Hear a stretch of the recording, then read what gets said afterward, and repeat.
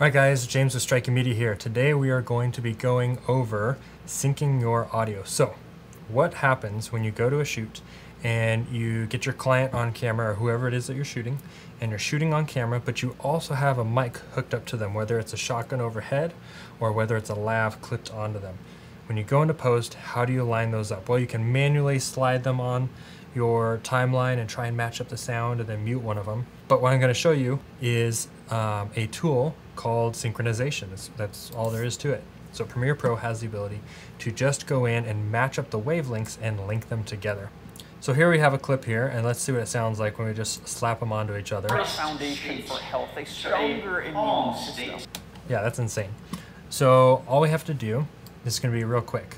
Select both, right click, go up to synchronize, hit synchronize. Um, we're not going to use clip start to clip end, we're going to use audio and we're going to do mix down. All right, so if you have five clips sitting up here and you do mix down, it's going to only move the top clips to where it belongs and keeps the bottom track in place. So it's going to process one and two of two, and then it'll snap. Boom, just like that. So let's listen. Holistic health.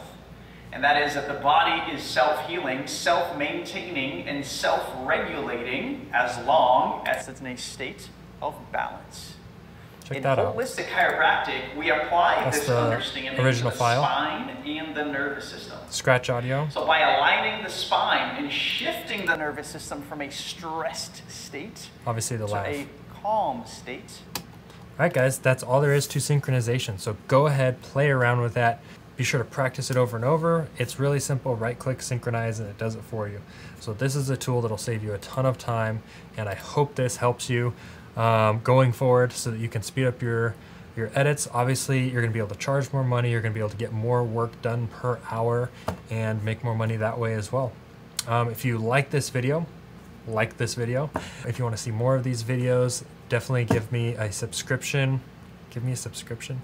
Definitely subscribe and then consider hitting that notification bell so that you don't miss out on any of the videos that I post. Um, I look forward to seeing you guys in the next video.